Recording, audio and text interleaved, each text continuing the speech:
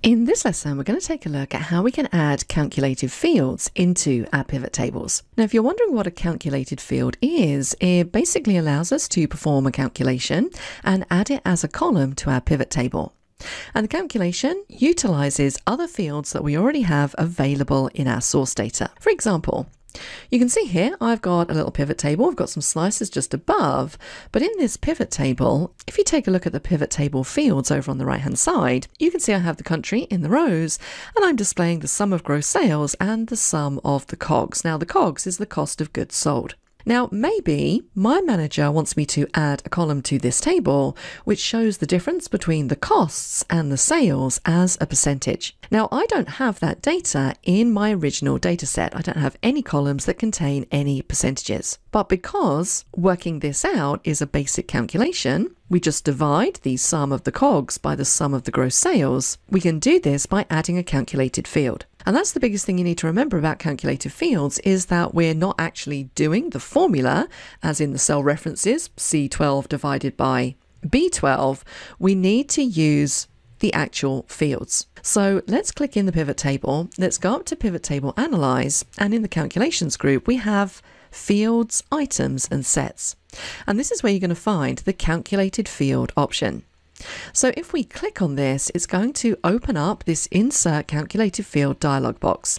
And this is where we can give our calculated field a name.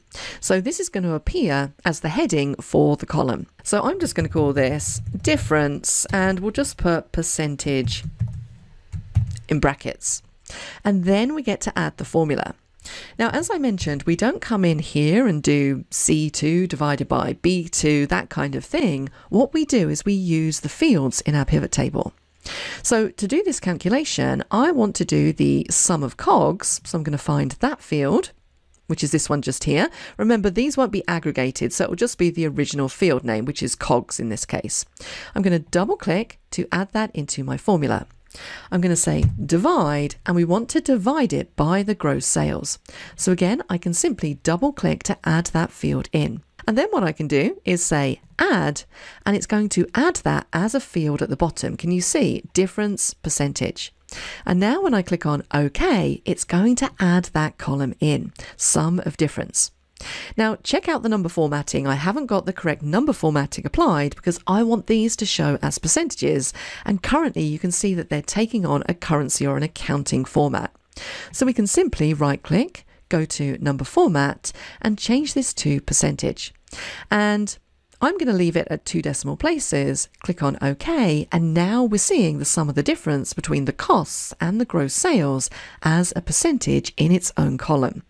And one of the cool things about adding a calculated field is that the field is then available in your pivot table fields list. You can see it there, difference, to use throughout your pivot table. So if I wanted to use this again or move it to the columns or the filters, I could do that. So the key takeaways here when it comes to working with calculated fields is that you use the actual field as opposed to cell references in the formula.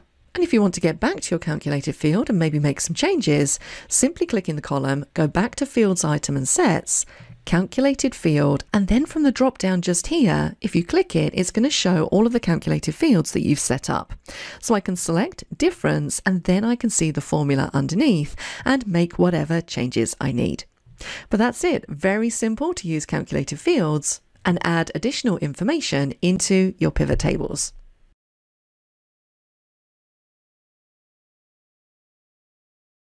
In this lesson, we're going to take a look at how we can add a calculated item to our pivot table.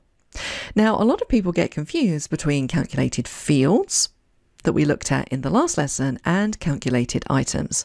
So before we move on to creating a calculated item, let's just really make sure that we understand the difference between the two. So let's scroll down to our pivot table. Now you can see here I've just got my fields organized with the country and the product in the columns. So the top one is USA, and then we have all of the products, and we're displaying this by the sum of the profit. So all pretty straightforward so far. Also notice at the bottom of each group we have the subtotal for each of the countries. Now when we created a calculated field, we could only use the field names in our formula. And in this particular example, the field name would be country, for example, or product. Now, a calculated item is what we have below that. So the calculated items for country would be USA, Canada, Mexico, China, so on and so forth. So country is the field and the actual countries are considered the items. So when we add a calculated item to our pivot table, it means we're performing calculations on the actual items as opposed to the actual field. So with that in mind, let's see how we can add a quick calculated item because it is very similar to a calculated field. Now in this example, let's say that I'm only really interested in seeing information about Royal Oak. And I want to see the sum of profit for Royal Oak for each of the countries as a percentage of the overall total for that country. Now, because I want to do a calculation on Royal Oak, that's a calculated item because the calculated field would be product. And another thing to remember here is that if you're clicked, let's say over here in the sum of profit, and you go to pivot table analyze, fields, items, and sets, notice that calculated item is grayed out because we're not currently clicked in a column where we can add a calculated item. As soon as I click in the product column into these items, it then becomes active. So let's click on calculated item and this looks very similar. So the first thing we need to do is we need to give our calculated item a name. So I'm just going to call this percentage profit of Royal Oak. And then we can construct our formula. And if you notice just below, we have the fields and then we have all of the items listed out. So we have country and all of the items that belong to country, region and all of the items that belong to region, so on and so forth. Now, this calculation that we need to do, we basically need to divide Royal Oak by the total of all of the items. So this now becomes really straightforward. We can simply double click to select Royal Oak. We're going to say divided by, we're going to open a bracket and then we're going to add together all of the products, including Royal Oak. Now, unfortunately, you can't type in sum like you would if you were using cell references. So you basically need to add all these up together. So we're going to say Royal Oak plus Vermont plus Lux plus Kensington plus Mandarin plus Burlington and close the bracket. So that is the calculation. Let's click on Add and OK. Now notice we get an extra row in our pivot table called percentage profit of Royal Oak. And notice that currently it's all showing in zero. Now that's because of the formatting that we have applied to this column of the table. I'm currently displaying this entire column as just regular number formatting with a comma separator.